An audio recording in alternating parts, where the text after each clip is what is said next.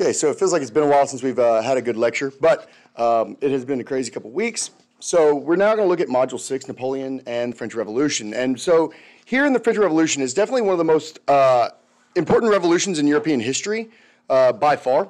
And so in this lesson, we're really going to focus on the origins of the French Revolution of 1789. Now, our story about the road to the French Revolution really has to begin with French society. Um, if you look at French society prior to the start of the French Revolution, you'll see here that it was divided into three major groups known as estates.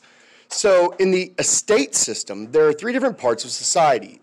The first estate was the clergy. Now, the clergy was a very small group in French society. Uh, in, in, fact, they only accounted for about 1% of the total population. Um, and yet, they controlled between 10 and 15% of the total land, okay, in France. Now, that's a very small group of people controlling a fairly large piece of land.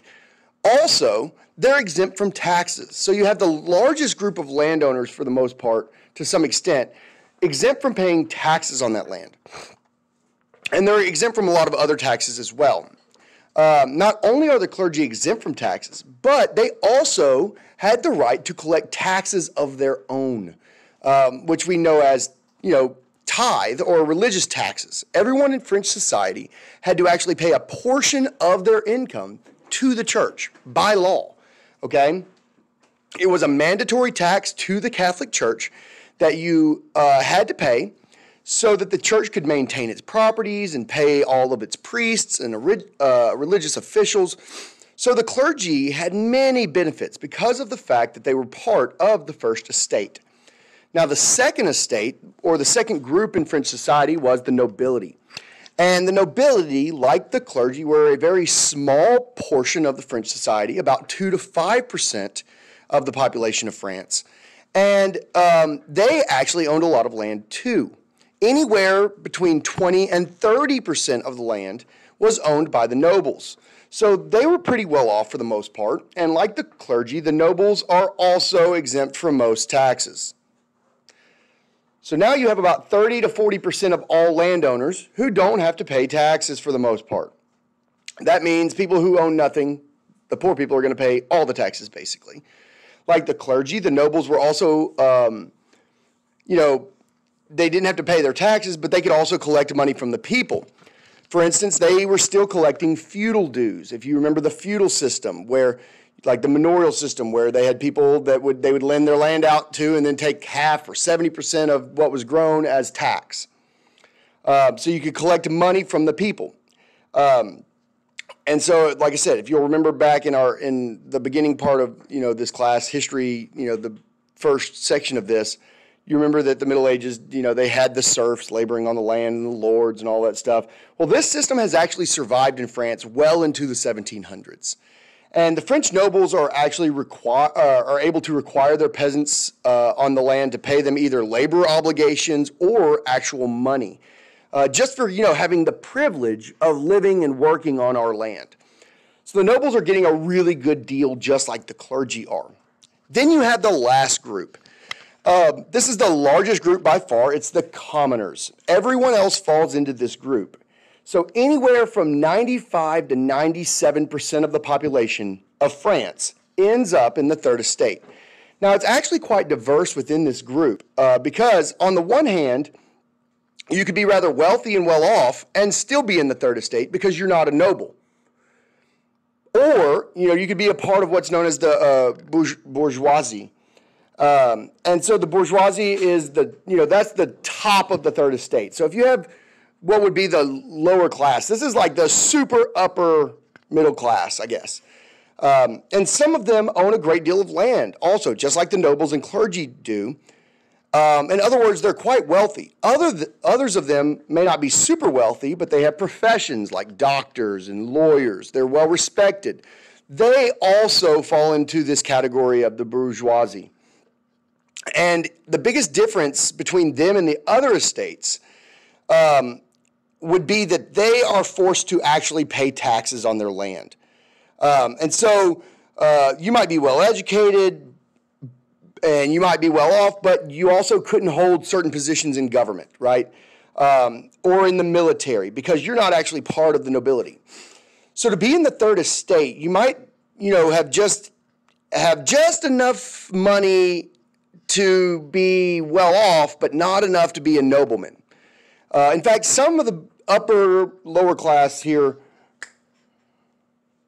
uh, actually had more money than some people in the nobility, but the nobility didn't have to pay taxes, and the and the bourgeoisie did. The upper uh, third estate did. Uh, so you certainly don't have the same privileges. And what made you a nobleman versus just a rich guy who had a good profession and was well educated? What was the difference? Birth. That's it. What family were you born into? That was really the only thing that divided you. Okay? Um, the third estate, the vast majority of them, though, were the urban workers, though. All right? And these are under the bourgeoisie, uh, bourgeoisie. Somebody is probably going to leave a YouTube comment about how I'm saying that wrong, but I don't really care. I'm, I don't take French. Is it bourgeoisie? Anybody take French? Want to pronounce? bourgeoisie. Bourgeoisie. Okay, bourgeoisie. Sorry. If there's any French people watching this, what are you going to do about it? Nothing. Um, so, for the urban workers, their main issue is that they need to earn enough money so that they can provide food for their family. But remember, they're going to be taxed at a very high rate, and this is going to cut their earnings quite a bit. Now, this is also going to create quite a bit of tension. Uh, uh, and so then you finally have the peasants, the peasantry. Uh, just like the bourgeoisie, uh, these peasants, um, there are some peasants that own some land.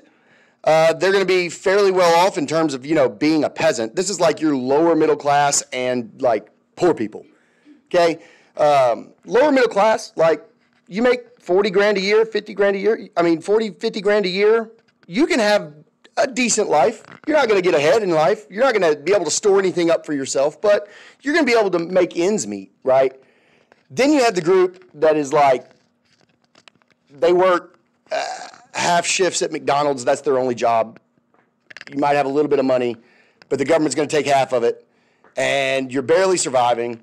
And today we have government assistance. Back then they don't. You're just poor and broke, and you have nothing, and you might eat once every three days, and it's miserable, right? You're having to pay taxes. Um, and so you have a, you know, they got to pay feudal dues. They have to work the land of the nobility, uh, and they're barely scraping by. And so you kind of look at this, uh, you know, political cartoon from the 1700s, and guess who this guy is down here, right? Um, he's the third estate.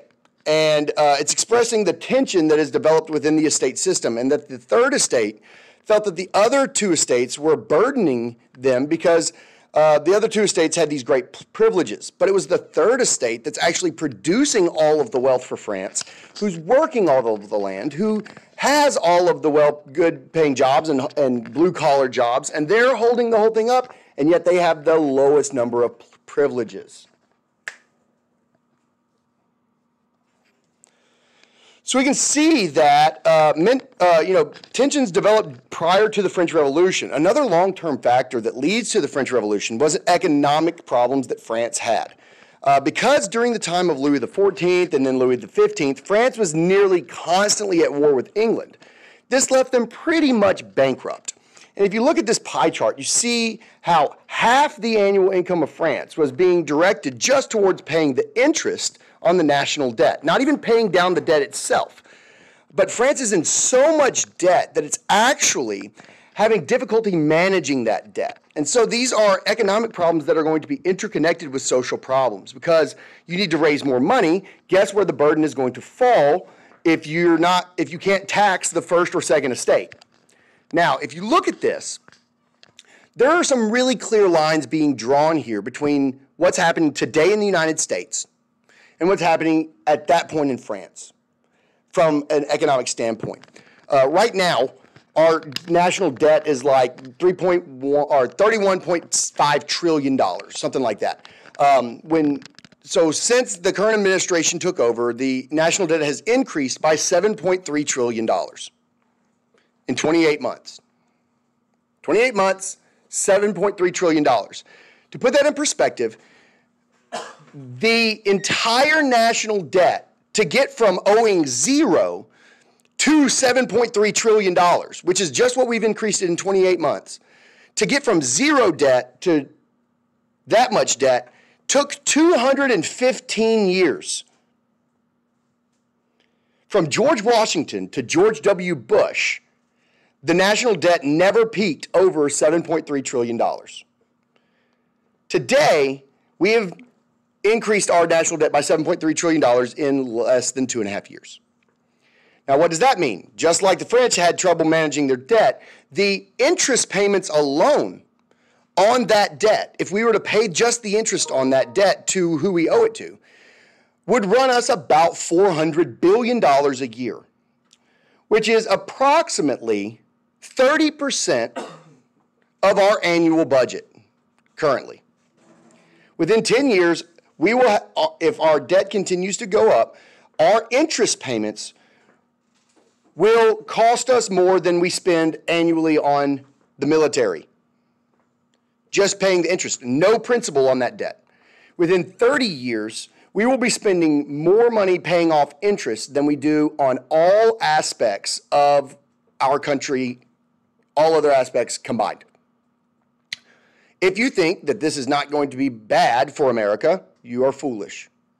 Okay? This is not a good situation economically because we also have this idea well, you should tax the rich. Believe me, 90% of all federal income taxes are paid by the top 10% money earners in the United States. Vast majority of rich people are already paying the vast majority of taxes.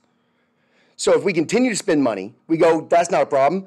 We'll raise taxes on the rich. Okay, great. But they're already being taxed far more than everybody else. So if you're going to raise money, where's that money going to be raised from? The middle class. That's not going to be good. Okay, so just understand these things lead to problems. By 1787, France's economic problems are so bad that the French Minister for Finance called a meeting with the representatives from the First and Second Estates to figure out how they're going to deal with the economic crisis. Now, how are we going to deal with economics? Hey, we should ask the people who don't pay taxes. Hey, how are we going to raise more money, people who don't pay taxes? Or what do you think those two people are going to say? Uh, we should tax poor people more. They're gonna be like, hey, we need to raise more taxes. Do y'all want to pay some taxes? Uh, no. You think we should raise taxes on poor people? yeah. of course. When they meet, the finance minister has three points for his plan. Uh, the first part of the plan to have the government cut expenditures. Hey, stop spending more. Stop spending money. This means more money is available to pay down debt. The second part is to reduce trade restrictions. If you increase more free trade, this would increase uh, revenue, which is allows you to have more money to pay back the national debt. The third part of the plan, which is the most revolutionary, the finance minister proposes that the first and second estates should pay taxes on their land. Uh oh. They're not going to like that. Well, as you might expect, this proposal, because it's so revolutionary, was greeted with a little bit of concern and skepticism.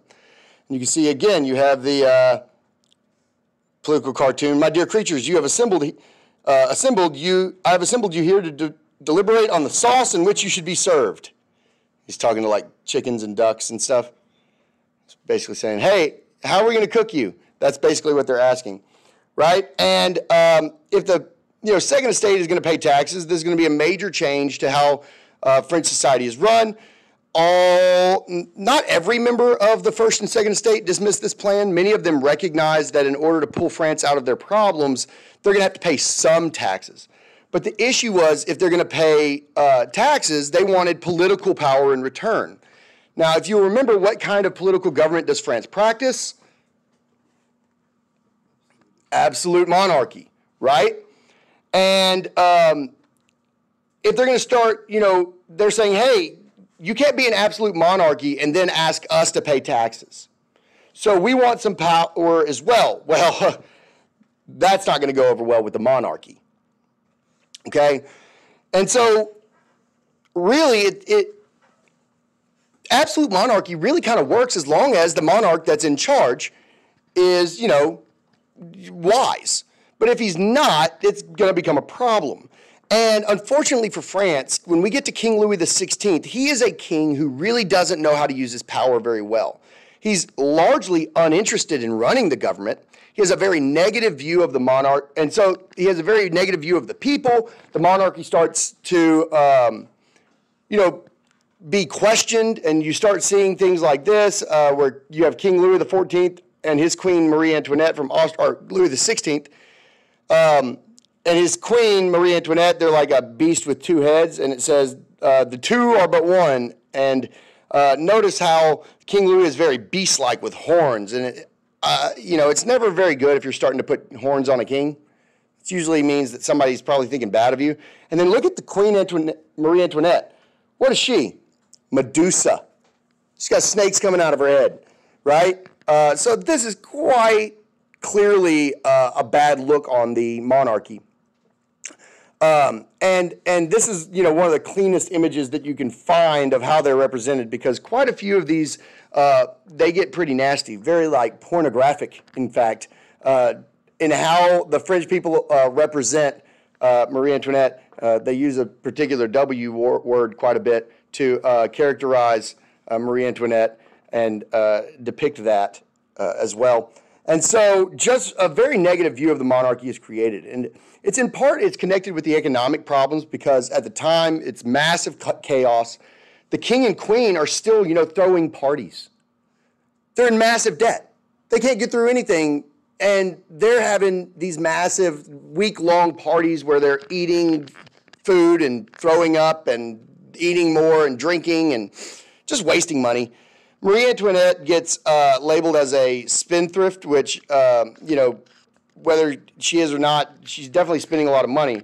Uh, and allegedly, she had, you know, um, they're at a party. This is kind of a, um, I don't know if it's 100% true or not, but the, the idea is that they're at a party one day and somebody comes up to Marie Antoinette and they're all sitting around eating dessert, right? And they go, hey, uh, y'all are sitting around eating dessert and lav- living lavishly. What do you think about the people in France not having enough bread to eat? And you're sitting here wasting food. And she looks at him and she says, They don't have enough bread. Let them eat cake, which is pretty elitist. Because she's sitting here with a table full of desserts and people are starving in the street. And she's like, What do you mean they don't have bread? Just give them some, let them eat cake, you know? Uh, which is, that doesn't go over well. Of course, that could have been propaganda, you know, just because people were upset with her. But um, obviously, most likely it is propaganda. She probably didn't actually say this. It's probably made up about her. But again, it points to the issue that there's a very negative view of the monarchy. Um, and the king and queen are far removed from the problems that the people are facing. Well, by 1789, those economic problems still have not been resolved. So the king decides to call for a meeting of the Estates General. Now, this is similar to the British Parliament or the American Congress. But uh, remember, when the absolute monarchy started, they stopped calling the Estates General. In fact, 1789, this is the first time that the Estates General has met since 1614. 175 years have passed since the last time he actually called a meeting. And so King Louis calls a meeting, and um, he wants the members of the first and second and third estates to give him advice on how he should rule. Well, they elect delegates to represent them, and uh, particularly the members of the third estate elect people, and they're commoners, right? And they're quite excited because they want the king to hear their grievances. They want to talk about how they're the ones shouldering the tax burden. They want to talk about um, how they have all these grievances, how they can't hold certain military and government positions, they want more rights, and they see this as an opportunity to meet with the king. And gain a little bit more political power. And of course, the clergy and nobility are only interested in getting more political power, especially if they're going to have to start paying taxes. However, the meeting gets off to a pretty rocky start. Uh, remember, it's been 175 years, and nobody really knows how to run a meeting of the Estates General because they've never been to one. So they all show up and they're like, okay, how do we do this? Right? And um, there very quickly becomes this controversy about who gets to vote and how voting is going to work. Now, in the 16th last meeting, they voted by estate, meaning that each estate had one vote. This is problematic because that means that there's three votes that get cast on every issue. If the uh, first estate votes yes, the second estate votes yes, in a way, it doesn't really matter what the third estate does. Remember, they're 95% of the population. So the first two estates both, both go, hey, are we going to pay more taxes? No, no. Sorry, a third estate, you lose. Hey, third estate, we're going to raise your taxes. Third estate says no. And the first two go, yes, yes. Doesn't matter what you think. Sorry, you lose. Right? Um, so the third estate decides, hey, we should do voting in a different way. Let's do voting by head count, where each individual delegate gets a vote. And this is going to make things more equal because there's about 300 delegates from the first estate, there's 300 delegates from the second estate, but there's 600 delegates from the third estate. So if they do voting this way, at least you have a you can end up with a tie. And possibly if just a couple people swap votes from the first and second, they can convince them and get some more power and but this is going to become a problem to vote by delegate because the king decides, uh, I don't like this either. This doesn't seem to be going well for me. And so once they decide, oh, we're going to vote this way, he says, okay, uh, time out. Uh, third estate, uh, you can leave. We, just kidding, no estate general, just first two estates, because he sees what the writing on the wall is, which is that the commoners are going to end up taking some power. He shuts down the third estate, and the commoners and the delegates from the third estate decide they're actually going to, to not go home. They're going to go to a, to a tennis court, literally, uh, and they're going to have a meeting of just them. And they are going to meet at the King's Palace at the unused tennis courts. And, um, it, and so they are going to basically have a sit in. They're going to stay there until they get what they want. And they're not going to leave and they're not going to go anywhere until they create a new constitution that gives them a little bit more say. Um, and so it's a radical thing to do. They could argue that this kind of starts the French Revolution because they are calling for a revolutionary change in the way things are done. The next month, after taking the tennis court oath, members of the Third Estate, they're all living in Paris. Remember, they're not going to go home until they get a new constitution but we start to see a political crisis escalating. And at the same time that they're in Paris demanding that the king meet with them and that they're allowed to write a new constitution for France, economics continue. The price of bread skyrockets, and riots start to break out all over Paris over the price of bread. The urban workers are very upset. They can't afford to feed their families. The king decides he's going to send troops in to quell the riots and these tensions are going to get really, really high. Uh, the king is trying to attack the members of the third estate. He wants to suppress them. In all of this chaos, you have this crazy stuff. Rumors start going. No one knows who starts it. But a rumor starts that the king has started to stockpile weapons at the Bastille prison, which is where they took all the political prisoners. He, they're saying, hey, the king is building up weapons and he's going to come in and just slaughter us all so that we can, so that we shut up. Now, there aren't any weapons there, but they end up marching on the Bastille prison. And when they get there, they break into the prison, they kill the, the governor of the prison and many of his lieutenants. They cut their heads off, they stick them on pikes, and parade through the streets with heads on pikes. Okay? Um, Bastille prison was a place, like I said, kept a lot of political prisoners. Um, they break into the prison. They uh, they free prisoners, and um, on July 14th of 1789, um, this is basically the symbolic start of the French Revolution. Revolution. The commoners are rising up. Uh, they take the tennis court oath. They uh, storm the Bastille prison. They actually tear the whole thing down. Yeah, not playing any games. And the date July 14th is celebrated every year as their equivalent of our July 4th. It's a significant holiday. It's called Bastille Day. Um, and uh, people rise up to demand their rights and liberties for themselves. And you can see how, you know, this is going to be incredibly violent. I mean, they took these dudes' heads and went through the streets with them on poles.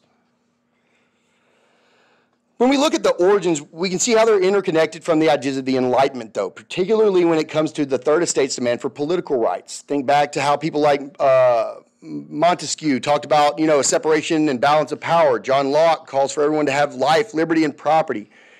And these calls are really calling for the removal of absolutism and, and putting in place a constitutional monarchy. At the very heart of the Third Estate, what they demand uh, is is you know to have more say, to have representation. And the fall of the Bastille really represents the potential for a full on revolution that's going to be incredibly violent. And many people don't know how much this is going to, how much of a toll this is going to take. Um, but, you know, the French Revolution sees the rise in the invention of the guillotine, uh, some of these things. And of course, you know, people like Marie Antoinette are going to uh, you know, not be so well at the end of this. Uh, she's going to lose her head. So is the king. So are thousands of others um, during this revolution. And it's going to be a major turning point in the history of Europe and really of the world. Um, and it's going to be really, really deadly and violent. And that's going to bring us an end to this first section.